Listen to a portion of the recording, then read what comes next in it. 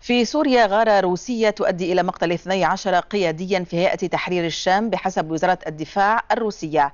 وبعد معلومات عن أن أبو محمد الجولاني في حالة حرجة نتيجة إصابته بالغارة نفت الهيئة الموضوع مشيرة إلى أن الهدف من هذه الإشاعات هو تبرير قصف المدنيين وترويج أنهم يستهدفون مقرات عسكرية. هذه المشاهد وزعتها وزارة الدفاع الروسية وقالت إنها تظهر عملية خاصة لمقاتلتين من طراز سخوي 34 وسخوي 35 استهدفتا مقر اجتماع لقياديي جبهة النصرة في سوريا. حضره زعيم الجبهة أبو محمد الجولاني ما أدى إلى سقوط نحو 50 قتيلا بينهم 12 قياديا فضلا عن إصابة الجولاني بجروح بالغة أدت إلى بتر يده بحسب وزارة الدفاع الروسية التي أضافت أنها تمكنت من جمع معلومات استخبارية مكنتها من التأكد من مكان الاجتماع وزمانه. رغم أن مواقع قريبة من المعارضة نقلت عن مصادر في هيئة تحرير الشام نفيها إصابة الجولاني لكنها لم تنفي وقوع الغارات.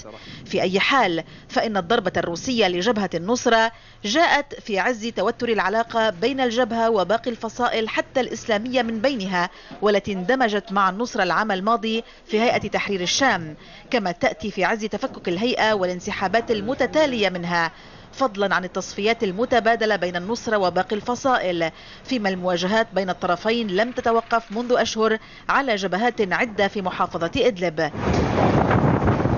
التوتر زاد بعد اجتماعات أستانا الأخيرة حيث اتهمت النصرة الفصائل المشاركة في المحادثات بأنها قدمت خرائط وإحداثيات حول مواقعها ومقراتها السرية.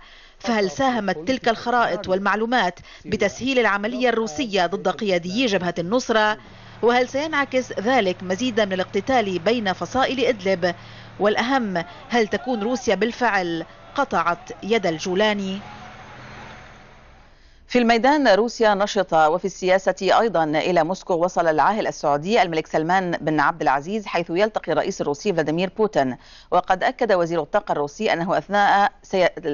هذه الزيارة سيتم توقيع اتفاقيات استثمار تزيد قيمتها على ثلاثة مليارات دولار.